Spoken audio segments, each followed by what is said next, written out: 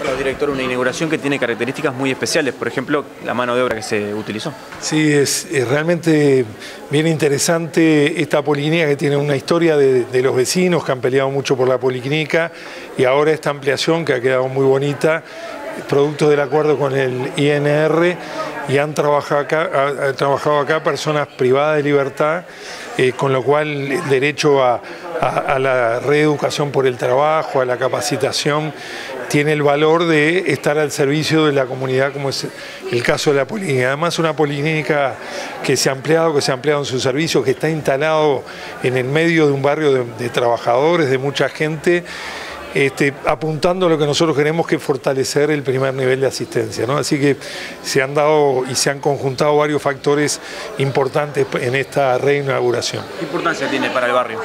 Muy importante, ¿verdad? Porque esta es una zona de concentración de mucha gente, en poco espacio de mucha gente entonces, el primer nivel, este, y, esto es una cuestión cultural a, atenderse en el primer nivel, esta policlínica que ha quedado con todo el equipamiento, eh, farmacia, distintos servicios de especialidades, permite resolver gran parte de los problemas de salud. Y en esa idea que nosotros estamos transmitiendo de corredores asistenciales con centros de referencia, en este caso el Hospital Pasteur, hace pocos días estuvimos allí con todo un plan de inversión y desarrollo de especialidades, en particular las especialidades quirúrgicas que hacen al hospital un centro de referencia. ¿Hay eh, en el marco de ese convenio con INR otras policlínicas u otras obras en marcha? Seguiremos trabajando en ese sentido. Ya hemos tenido experiencias anteriores muy positivas y ahora hay dos policlínicas más que estamos trabajando con el, INR, lo cual optimiza los recursos. Desde el punto de vista nuestro, optimiza los recursos.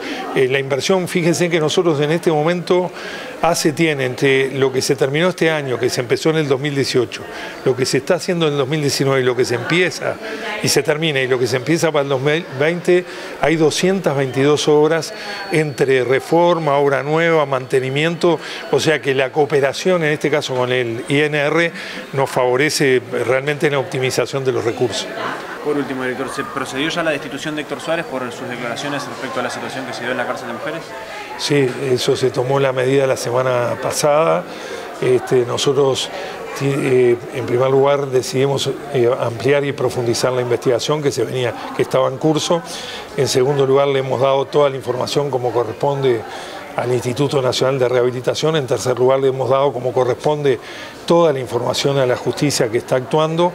Y, finalmente se tomó la medida este, de cesar al director de salud mental por expresiones que no coincidían ni con lo que el, directorio piensa, ni con lo que es este, en materia de derecho lo que han conquistado nuestra gente. Así que son las medidas que tomamos sobre ese tema y estamos ampliando la investigación. ¿Esa, investigación es, por precaución o porque hay sospechas de que se hayan detectado eh, actos similares en otras áreas? Hoy, hoy no, no puedo adelantar, hemos leído detenidamente este caso puntual, este, pero no puedo adelantar porque está en el curso de la investigación y, no es conveniente adelantar algo que está en plena investigación. Muchas gracias. Gracias. gracias.